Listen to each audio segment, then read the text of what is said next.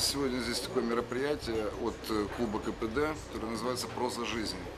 То есть, осознав э, суть КПД, клуба КПД, осознав в полноте собственную никчемность в э, умении подавать такой продукт души, как наше творчество, причем любое, ну, самовыражение, мы решили собраться в круг, то есть все те люди, которые недовольны собой. Ну, это очень важно для художника задать, задавать себе этот вопрос. Доволен ли ты собой взыскательный художник? Я собой недоволен никогда. Расти мне хочется. Значит, есть сила более могущественная, чем моя собственная. Профессионалы. Мы приглашаем этих профессионалов. Вот был у нас Борис Григорьевич Херсонский. 11 числа будет Хаид. э, Влада Ильинская в эту среду. Бушлатов, Ефремов, Бревис, Гринчук. Те люди, которые уже ну, они создали себя. Мы их приглашаем, даем им право выступить в диалоге, пытаем их, спрашиваем, что нам с собой делать, делимся со- собственным опытом, читаем сами. Ну, как-то вот в процессе мозгового штурма, там, Наташа Бусько, актер с актерским мастерством у нас работает, эм, Ловец жемчуга, она, она же Наталья Калашникова, ставит нам дактиль, хорей, правильную постановку речи и так далее и тому. То есть вот э, такой процесс работы над собой постоянный.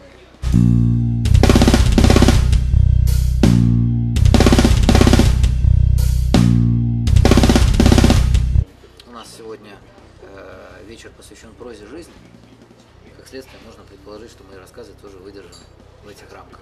А проза жизни, она может быть разной. Она может быть страшной, может быть смешной, может быть сюрреалистичной, может свести вас с ума, не дать вам заснуть или наоборот усыпить вас.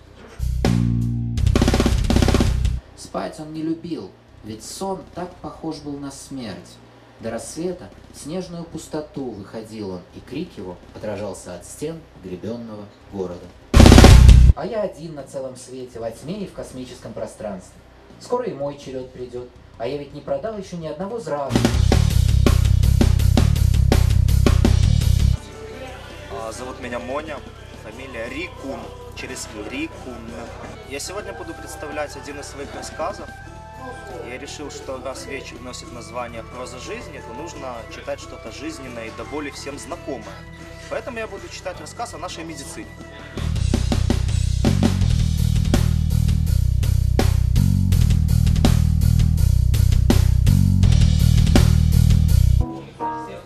Я как-то раз читал на сцене свой рассказ, довольно длинный, опять о жизни.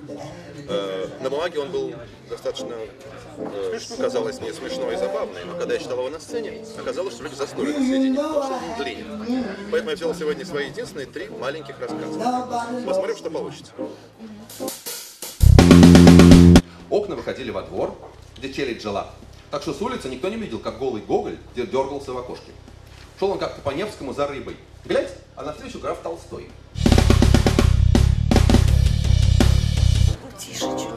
Ну, у меня тоже, у меня, в принципе, жизненный рассказ о, в принципе, реально существующих людях, просто они в такой немножко абсурдной форме. Реальная история, но в а- абсурдной форме. Лишь что-то кольнуло между лопатками. Это, наверное, сигнал, думал Гриша, что мне пора в зал. Надо качать бицепс, трицепс и дельту. Надо качать трапецию. Ну, читать я буду разные рассказики графоманские, которые прут из меня, в общем-то, со страшной силой. Вот. Ну, на самом деле, это такие ак- акынские штучки абсолютно, которые, значит, ну, что вижу, о том пою, как бы вот так. Как по мне, чем реже мы сталкиваемся с бывшими людьми, тем лучше. Хаем вот э, перманентно работников кладбищенского бизнеса за поборы.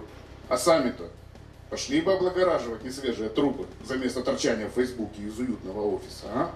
Вот то-то.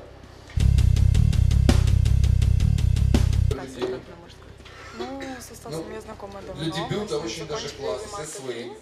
А, Я после знаю, что точно, если есть э, хотя бы один человек, что это потом э, скажется. Все будут это помнить. Я вот прям А, театр всеми фибрами «Её своей черствой образование». души И как-то так понимаю, что где-то э, человек уже есть. После этого мы долго думали, что же дальше будет. И потом пришло КПД. Он Стас сегодня собрал не в людей. спортивном Ну, не костюме собрал, первый раз, просто за что я отношу ему он отдельные аплодисменты. Он хотел бы учитель, преподает историю когда люди пришли, они начали думать, что это социально опасным детям. И И так создалось тоже, КПД, кстати, коэффициент да. полезного действия. Физкультура Здесь очень навязана, интересно. преподает историю, Ну, действительно, я согласна с Мониными словами, что э, без Стаса не вперед. Я Хотя просто остался, просто ждал свою нет. маму, которая меня Э, наругает. Интересные я люди приходят, судя по всему, э, с интересными лю- людьми общаемся. А так как у нас вечер А, носит название «Проза жизни», я очень, хотел что-то жизненное прочесть, Ну, что великие знакомо такие. каждому. Я, щ- я Поэтому считаю, что они достойны большего, очень намного. А, так получилось. В проходном дворе их оказалось немного, человек восемь. Молодые, неорганизованные, но уже знакомые с моими припадками собственной значимости пацаны со двора. Я пишу стихи под влиянием других стихов. То есть, На э, педсовете когда я сказали, прочту что до стихи, 1 меня что-то затронет, э, затронет эта тема, и э, в дальнейших своих раздумьях я пишу уже свой. Флюрк оказалось сравнительно меньше. Лицо сказала, что ж ты натворил, Стасик?